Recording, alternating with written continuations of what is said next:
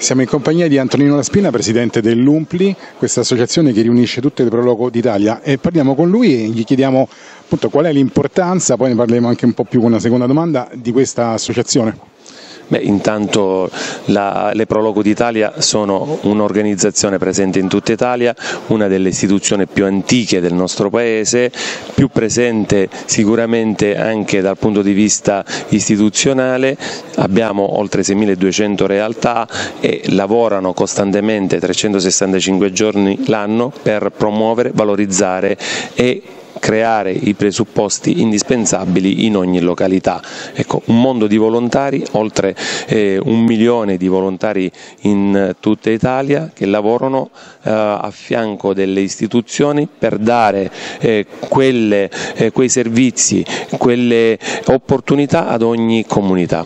Eh, ho sentito nell'apertura eh, parlare anche di un progetto di legge di una riforma per quanto riguarda questo settore.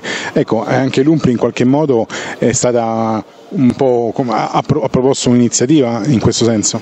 Sì, abbiamo presentato grazie all'iniziativa del senatore Antonio De Poli una proposta di legge che possa alleviare un po' quello che sono le maglie della sicurezza, che non vuol dire che i nostri eventi non siano sicuri, ma è importante che siano oh, messe le nostre realtà in condizione di non dover abbandonare la uh, possibilità di organizzare degli eventi.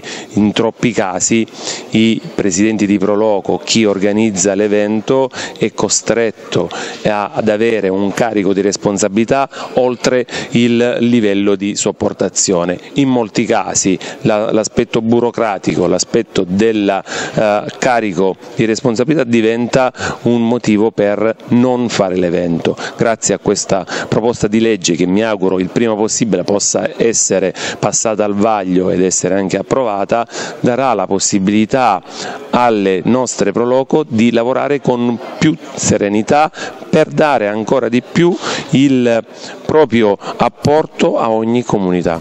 Grazie Antonino Maspina.